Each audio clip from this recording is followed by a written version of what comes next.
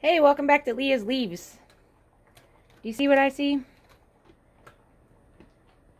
The place I just moved is the house my uncle built when I was a kid, and he was a young married man. And he passed away a few years ago, and my aunt is moving on with her life and renting this space. So I have this beautiful place to live that's owned and uh, built by family. It's unique. But it's got a yard in it that uh, just needs some TLC. When he was alive, my uncle, you know, maintained all the blueberry shrubs and the orchard trees here.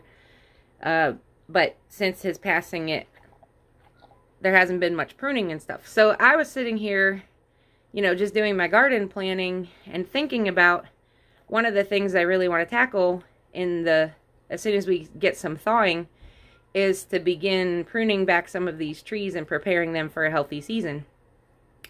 And while I was doing that, I was unpacking here to where I've just moved. And, oh, sorry, I got soot on my face. I just noticed that. I was building a fire downstairs. Um, I discovered a book that I had bought, and I'd given it to my mom because she had just built a cabin, but um, she gave it back to me, and I forgot that it was packed in my stuff.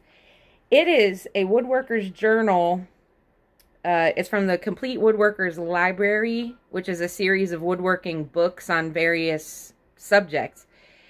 And I'm going to show you this book, and I'm going to show you some of the beautiful and very simple to make rustic touches that I can create for my garden using the brush that I'm going to trim off of these trees to repurpose them and put them back in the garden. I am so excited about this now. I've been thinking about it for days. And so I want to walk you through this book and show you, I have bookmarked the projects that I want to tackle personally. And uh, now that you've seen the, the branches that I'm working with, and in a previous video, I showed you the plot. That it's an in-ground bed. It's solarized right now. It's perfectly flat. It's perfectly sunny. It's a really nice little place. Um, I'll still have my containers and my kiddie pools, and I'll still do vertical gardening, and I'll show you some of that. But uh, I haven't had a main in-ground bed uh, since I was a kid of my own to kind of play with. And so a lot of the structures that I'm going to show you in this book will end up in that new garden plot. So come along with me, help me brainstorm, help me get creative. And uh, I would love to hear your feedback in the comments of projects you see in there that you would like to watch being made. Because if you see something that's interesting to you, I'll make a video about it as I'm building it. Okie doke, so here we are. I picked up this book for $2.99 at the Green Valley Book Fair in Mount Crawford, Virginia. Uh, if you're ever traveling through North Northern Virginia and would love a really great outing, you should visit the book fair. It's right off of Route 81, um, not far south of Harrisonburg. This is from the Woodworker's Journal series, and it's Rustic Garden Projects 28 Decorative Accents that you can build. Here are some examples on the cover. The book is edited, or the author, excuse me, is Dawn King, D A W N, Dawn King from Ontario. Um, and the Green Valley Book Fair, I'll put the address in the description box if you're ever interested in going and visiting. I can't guarantee you'll find this particular book, but they always have thousands and thousands of books. So these are the tools you'll need. And I have everything except that handsaw, the pruning saw. Um, but I'm going to ask around because I have relatives who, who also uh, do building projects and work with wood and stuff. And I bet there's something floating around in my, among my aunts, uncles, or cousins. So what you see clockwise from the left is a power drill, a stapler, a cordless drill, a bypass uh, pruning shears, the pruning saw, that's the down, that's the center, and then of course a hammer. And then you'll also want, um, these are additional tools that could be useful. Um, I don't plan on using an angle grinder or spade bits or ratcheted shears or anything like that. Those are for kind of special joining. And if you get a little fancier, uh, the projects that I picked in the book are fairly simple. And then, of course, different kinds of fasteners, decking screws, drywall screws, and your bits and your uh, staples. This is the part that I'm most excited about is gathering the materials. Because I already have picked out the items that I want to make. And I even know uh, how I'll use them. But now it's like foraging. So naturally, I live in Pennsylvania now. And the name of my state is quite literally Penn's Woods. So I will not be at a loss for finding these kinds of materials. Uh, look at these branches, interesting shapes. Here's a collection of the author's materials. Just, you know, sh- she says in the book that she'll just like go to somebody's house and ask permission from the property owners to harvest materials. And, uh, you know, they're usually happy because she's either clearing away brush that they don't need or they're excited about what it's going to become because she makes these amazing uh, artistic pieces. So, just outside, um, I didn't even show you the front yard yet, but there's even more trees down there in the front yard that are also ready to be pruned and, uh, you know, repurposed. So right in my backyard, without even leaving the property, I probably have a ton of stuff and could get started right away on some of these projects. The first thing I want to create is a pot trellis. I have some very large planters that I'm going to use for my extra large um, pepper varieties like my Count Dracula pepper because those can grow four or five feet tall. Those can get pretty big. Um, I'll also have peas, and I like to and and sweet peas as well, and they like to have something to climb on. Even though I most peas stay small enough, you don't need to stake them. But if you do, then they save ground space. You can plant other things around them. So I love the look of this pot trellis, and there's nothing fancy about it they she picked sticks in the correct shape and then just orients them on the framework to be a fan shape. So you don't even need straight sticks. There's no you don't have to soak the sticks, you're not bending the sticks. Nothing. You're picking up sticks exactly as they are and employing them. So there's going to be a center stake that will be driven into the ground and then a brace at the bottom that will hold all of the sticks together. And a couple little decorative uh, bent pieces of wood, naturally bent pieces of wood, just like you see there. And then look at this particular detail because you'll see this as the book goes on. You see that branch? The branch is just connected to the stick and it's been fastened to the cross beam and then again to the top to just reinforce the structure and keep it from separating. It just strengthens the structure and it adds rustic character to it. Isn't that completely cool? I'm going to make a few of these. And I you can do them in different sizes. They don't even um in the book she'll frequently just say, you know, make it to whatever size you want and then she'll say what size she used, but I'm not locked into that size. So you can see that's a pretty big uh, hosta behind that trellis. And so that trellis is probably a good, you know, three, three and a half feet tall. I can make them taller, I can make them smaller. The next project I want to do is this hanging rack. This is such a cool idea. The four vertical beams that she uses are really just sticks with branches. Look at that. They're just sticks with their branches and then cut so that the branches and the little elbow between the main trunk and the branch, or between the branch and the stem, becomes the hook. And then you just brace it on the top and the bottom with some cross pieces of wood, and then use your um, your thinner wood, like willow branches or um, young saplings, while they're still tender enough to bend. And they not only add the rustic touch, but they add reinforcement to the structure. I love the idea of the variegated hooks, the different heights, different sizes. Uh, so this is the kind of thing that I would hang on my fence and use it to like hang my hat, my gardening hat, um, my gloves. I could poke my uh, shears on there, etc. Just while I'm working there. I think this is one of the coolest ideas I have ever seen. And it's perfect for a window box. So that's what I want to use mine for. I have a window box and in it, I was going to plant tumbling tom tomatoes, some blue lobelia, and creeping thyme. So that's what I'm thinking of doing with this project. So planter easel. And the only thing I'll need that I don't have is to run around a couple thrift stores and find a, a wall hanging or, or a painting it, or just an empty picture frame. Or I'll search around Facebook Marketplace and see if anybody's giving one away. And other than that, it's literally sticks.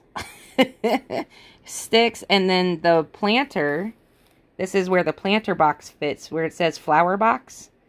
Like this one has instructions on how to make your own, but I'm not going to make my own. I'm just going to use the one I already have.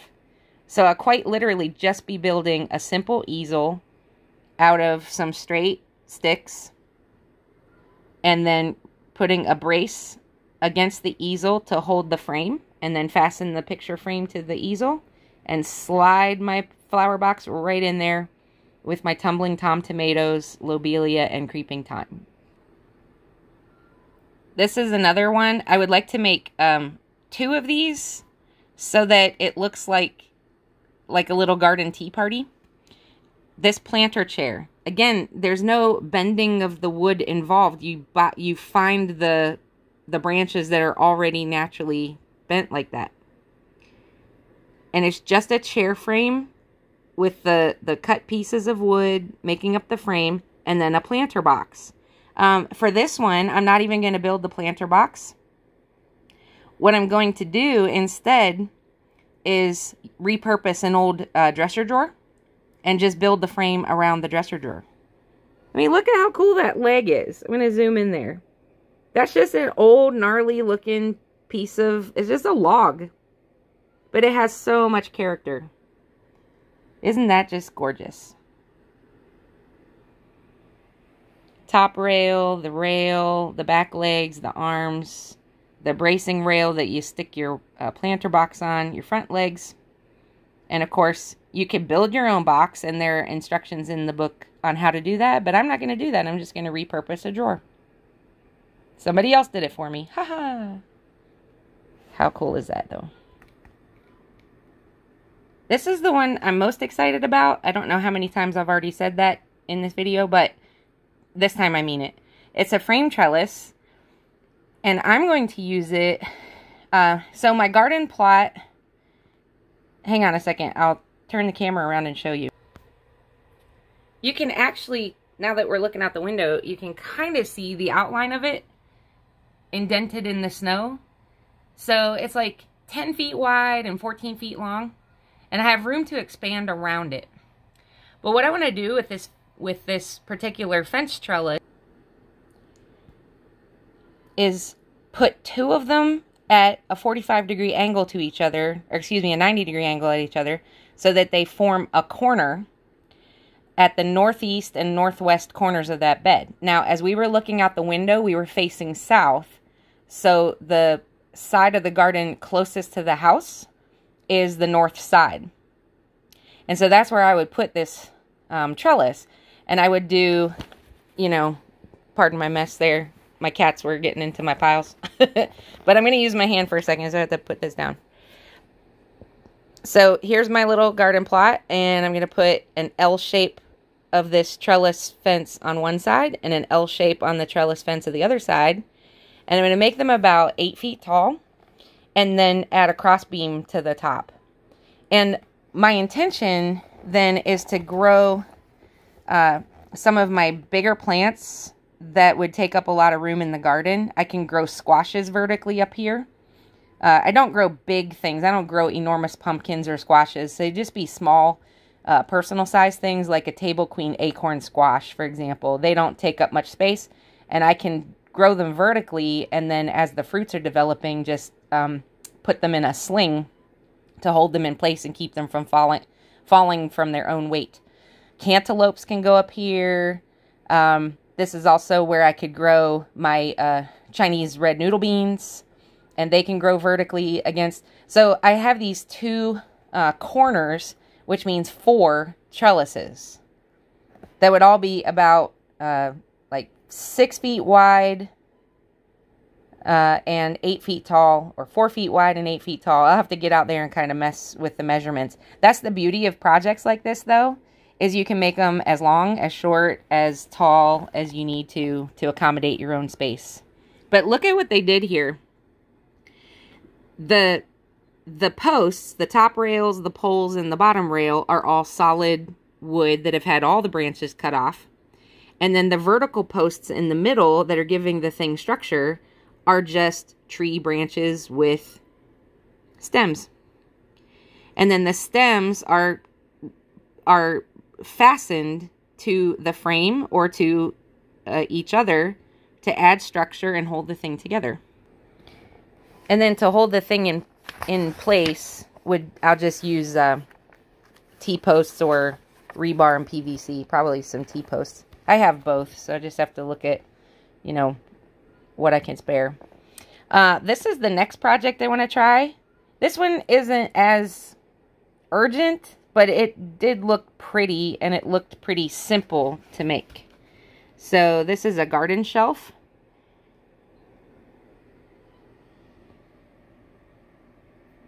And again, it's just these, you know, the beams, the a, a curved piece of wood and some straight legs front and back and straight braces across the front and then a couple of cedar boards, just shelf boards. And then you add your little decorative rustic pieces in the back that not only add the rustic touches but also reinforce the structure. And just uh, either staple them in place or use you know nails or screws depending on how thick they are so that's uh, going to be a lot of fun. I like working with tools. I like working with wood. I like the idea of repurposing some of the plants that are already on the property and foraging for some now that I've looked through this book also, it just kind of everywhere I look, everywhere I'm driving, I see interesting shapes in trees and I see branches falling to the ground uh, that are lying on the ground and they're just sitting there. Nobody's doing anything with them. Like, you can make all kinds of stuff with this. Who knows? Maybe the entrepreneur in me will come up with a way to get good enough at this pretty quickly that I could turn it into a little side business. I don't know. Anyway, um, there are other projects in this book. I'm going to leave the the ISBN information in the description if you ever wanted to get hold of your own copy of this. And you can see some of their other ideas. The other ideas in the book I either just don't need or frankly they're a little more complicated than I want to invest time in. That's all. Um, but the projects that I picked are relatively simple a lot of the material I already have on hand or can easily get it on on the cheap or even for free. Um, and the only other thing I'll say is if you want to attempt one of these and you don't have a copy of the book and you're just kind of eyeballing it, just make sure you drill pilot holes before you put in any screws, um, especially because you're going to be not always not always going to be using green wood and uh, the older or drier the wood, the more likely it is it's going to split if you don't take care of it while you're fastening it together. And always ask permission if you're foraging on somebody's private property. And if they say no, don't take it. anyway, I'm very excited about these projects. If you saw one in here that um, that you would like to see how it's made, like you want to watch me make it so that you can get an idea of how to do it, then leave a comment below and I will make a video of it as I'm working on these projects. I'll certainly come back on here later in the season and show you the finished products at least so you can see how they turned out. And um, also, if you have any of these cute little rustic touches that you've shown showcased in your own garden, I'd love to see those. So drop a link to your own video or let us know your um, YouTube channel and the people who are watching this video can stop by and check out yours, okay? I'm learning a lot and sharing it here, and I hope you'll come grow with me. Bye!